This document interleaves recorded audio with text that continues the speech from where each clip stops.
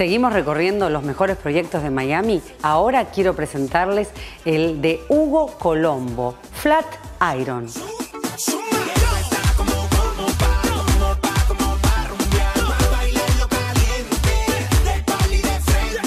first goal is that is for people to live in. So to make a comfortable home for the residents of the building. That's always the objective number one.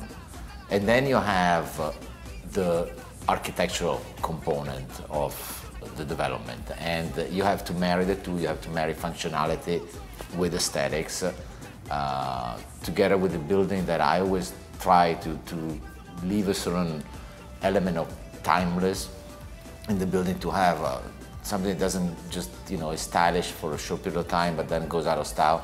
Cre so create something that, that holds the test of time that is aesthetically pleasant architecturally, but most of all is a home for the residents and it functions from the inside out and not from the outside in. Hugo Colombo es el desarrollista de mayor trayectoria en la zona. Él siempre ha desarrollado en Miami, como lo sabes, y sus edificios son íconos, son los que han delineado el cielo de Miami. Uno de sus edificios más conocidos puede ser el Santa María, que lo conoces bien, el Bristol.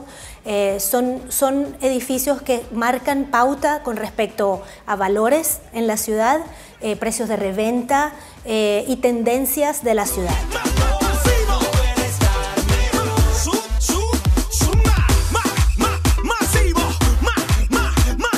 Quiero que se comuniquen ahora mismo conmigo. Tome nota, pina.armentano.yahoo.com o cio.pinarmentano.com. Estoy esperando su email con su consulta y así le responderé al momento.